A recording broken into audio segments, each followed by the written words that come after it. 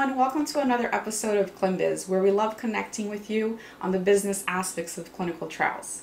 Uh, so in today's video, I'd like to talk to you a little bit about a very big pain point in our industry, which are CTA negotiations. Uh, we know that it's a big pain for both sponsors and sites, and if you know, eventually, who it really affects at the end of the day is um, our patients and how quickly we can get medicines out to them that is uh, drastically needed. So today, I'm going to talk about one of the the situations, one of the things, because I, I really have a, a thinking that CTA negotiation delays, right, are really not a one-sided issue or it's not a one issue right? And so I think there's various components um, and various things, or what I love to call villains, that actually contribute to uh, CTA delays. Uh, I actually have written a book. It's coming out in a couple of weeks. And what I love to do is take the next few weeks to um, sort of drop it in installments a couple of um, the villains that I talk about in this upcoming book, but also what are some practical ways that as an industry, as sponsors, sites, and CROs, we can work out some practical ways to really defeat these villains. So in today's episode, I love to talk about this first uh, villain or this first part of, of really um, what contributes to CTA delays. And I like to call it, you know, inefficient site budget negotiations. So I think this is one component of the CTA delays. Um, the actual budget, site budget that is negotiated with our sites um, being a problem during CTA negotiations. So many of us have, you know, that work in the in the actual contract area. Um, we've seen, and, and obviously others that are working in clinical operations, where sometimes we've uh, gone pretty quickly through the legal aspect, the legal language, or the legalese of a CTA with a site, only to be stalled um, by the budget, by the actual budget negotiations, and really coming to a, a stop in all those negotiations due to some budget um, issues that we may have. So what are today I just wanted to talk about just two practical ways. There's various ways. Um, I have much more included in the book, but here I just wanted to drop two very practical things that you can do today in your organization to really um, help with those CTA negotiations and specifically with your site budget negotiations. So number one, the number one thing that you can do as a sponsor, I'll speak from a sponsor perspective first, that you can actually do to speed up site budget negotiations is provide procedure level budgets. Um, this is something that I've seen being over a decade in the industry, working around this area, that some sponsors really sometimes neglect to see uh, the need to provide a procedure level budget to the sites, um, to the investigator sites during negotiations. So this is a big deal. Why?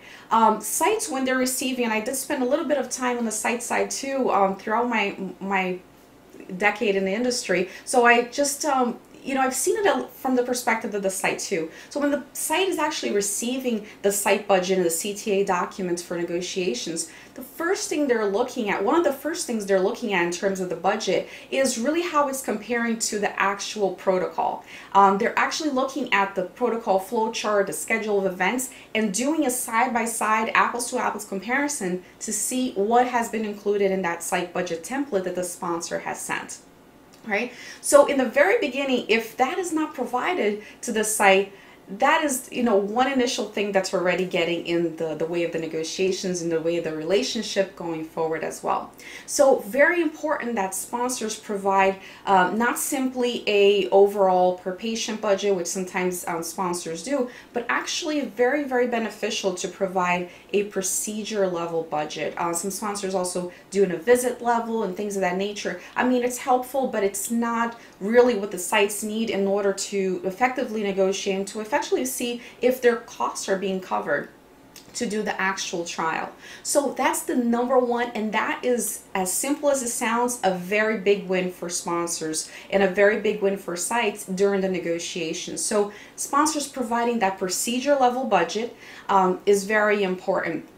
Okay, and so I'll address already an objection that sometimes uh, we get when we're talking about procedure level budgets, and, and some sponsors may say, well, isn't that going to actually delay negotiations? Because now sites are going to be uh, maybe negotiating on a procedure level and now we're going back and forth you know on the cost of dry ice or even though dry ice isn't invoiceable usually but you know we're going through the cost of, of a very small procedure and now we're going back and forth and negotiating and that isn't that going to be adding to it? And the simple answer is no and why I say that based on both my experience and the experience of various um, industry uh, colleagues that I have that I've spoken to directly on this piece, and also some industry experts on this, um, also hearing from the sites as well. This is not something that delays negotiations, okay? You can still, and, and why I'll say that is if you already have as a sponsor um, a very good process for your negotiation, very uh, documented, very well established on how you're going to be negotiating um, your fair market value process, all those things up front. You have that done. It's not something that's going to be delaying. You can still um, negotiate, let's say, on a per patient cost or, or a visit level, however you're doing that. Um, you can still negotiate based on those parameters that you have already set and documented for your organization but what the procedure level uh, site budgets do, it's, it's simply giving that transparency to the sites that indeed all the, the events, all the, the procedures, all the things included in the schedule of events are also included in terms of a cost. Um, so that's all that it really does. And at the end of the day, um, if there are any situations where you're really way off um, on a procedure cost that the site is is um, requesting versus what the sponsor has provided, well, then that's the time to get on a phone call, right? That's the time to call each other up, have a conversation, have a conference call, whatever that may be. And I can assure you that 99% of the time, the situation is there is a misunderstanding on the actual procedure being done for the protocol. Uh, whether it be on the sponsor side or on the site side, there's just a misunderstanding, and that's what perhaps that procedure is way off because it really shouldn't be way off, especially if that sponsor is using um, some industry standardized tools and um, to obtain those costs um, across the board. So that's, you know, that's one objection that can be thrown down and it's really something that I've seen uh, really improve negotiations across the board, being from the site side and also um, on the sponsor side, providing procedure level budgets. Um, second piece, second point, and this is number two, very practical thing that we can do today in our organizations to speed this up is actually from the site side. Um, so usually I speak from the sponsor side and, and some of these issues, but speaking from the, the site side as well, um, one thing that you can really do as a site to really speed up these negotiations in terms of the budget is to provide any of your justification document documentations up front to the sponsor. So what I mean is any documentation you may already have in terms of some fixed costs you may have, um, costs related to your overhead and things of that nature, it is so helpful. It is very helpful during the negotiations if you can just provide those up front to the sponsor as soon as negotiations or the CRO, if, that, if it's a CRO or um, another service provider doing the negotiations, that you provide any justification documents that you have right away, right off the bat, right up front. Um, don't even wait for it to be requested. Don't don't wait for the sponsor, the CRO to ask. Just provide those up front because that indeed really helps in the negotiations um, to just streamline things. It really cuts down, even if it's days at a time or, you know, sometimes it can cut weeks at a time